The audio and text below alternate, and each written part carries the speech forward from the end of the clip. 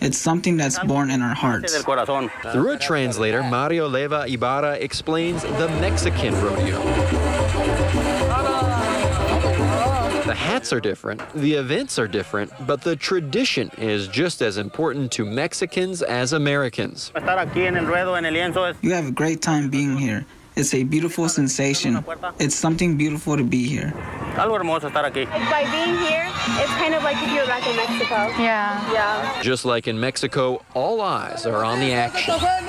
These participants are in the coleadero, a traditional Mexican event where they have to touch their hat, then the back of the bull, then grab its tail, wrap it around their leg, and flip it over. And yeah, it's a lot harder than it sounds. And these guys make it look easy.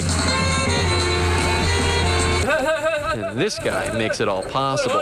Gabriel Alvarez left Mexico as a teenager. He started this rodeo about seven years ago when he moved to Spring Hill. Over here is my uh, American dream, you know, because I got my own arena. He loves when Americans fill the stands so they can learn about his culture.